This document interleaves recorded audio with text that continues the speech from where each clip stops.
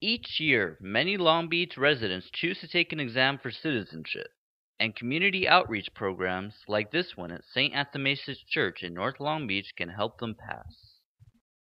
I started out with the ESL, the English is a second language, and then that's how I uh, understood that there was uh, a need uh, for citizenship classes. Nosotros, el pueblo. The Constitution, that is the supreme law of the land. Yeah, my test is the this month, March um, 7 is um, Wednesday in the morning. How you feel about that? A little nervous, but um, I'm fine. Uh, I like the USA. I like uh, Long Beach. I like everything. They are very proud. They are very proud to become citizens and they really love the United States. And this is their home now. Why not become a citizen?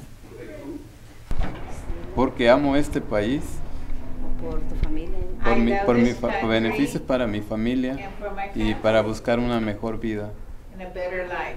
Uh, after about seven years, I'm very proud to say that uh, over 1,500 uh, new citizens have come out of our program. This is Ron Bar Zion for Beach News.